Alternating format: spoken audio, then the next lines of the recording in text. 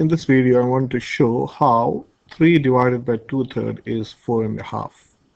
So what I've done is this is these are three circles of the same radius and I've divide, divided them into thirds. So this is this is one third, this is also one third, and this is also one third. So you've got three thirds. One whole has been divided into thirds.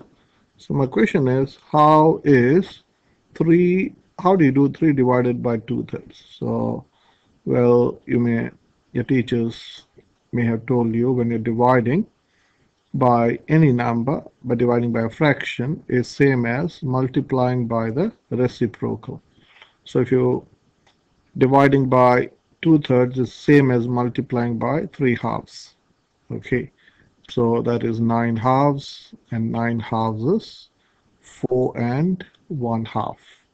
Now this is the maths, okay, there's nothing wrong here, but uh, I would like you to understand why, because at times it's difficult to understand how when you divide 3 into 2 thirds, how can you get four and a half?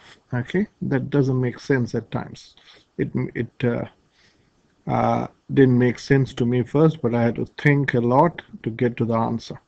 Okay, so this is this is one pie let's imagine imagine this is a pie so this has been div divided into thirds. So let me oops, so let me move this. So this is two thirds. So this is two thirds. This is so yeah before we answer this question what does this mean in English? Okay so we have shown you the working. Okay let me go back. Let me bring that back. Okay. Now what does 3 divided by 2 third mean if you if someone is asking you can you make a sentence out of this? Okay so what does this mean?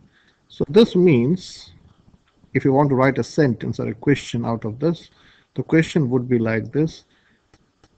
Uh, 3 okay or 3 has 3 has how many two-thirds? You can write this in many ways. The question is 3 can be divided into how many or 3 has how many two-thirds. Or in other words when 3 is divided into two two-thirds it has got how many two-thirds? That's the question. 3 has how many two-thirds?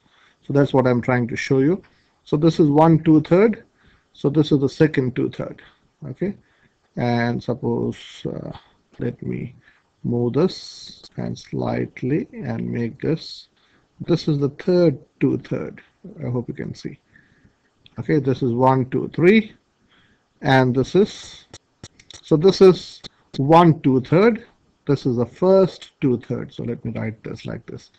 This is the first two third. This is the second two third. This is the second two third. This is the third two third. This is the third two third and this is the fourth two-third. Does it make sense? There are four two-thirds.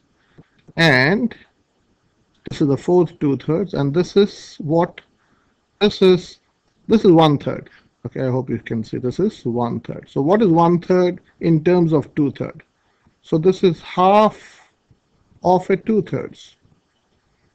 This is half of a two-thirds.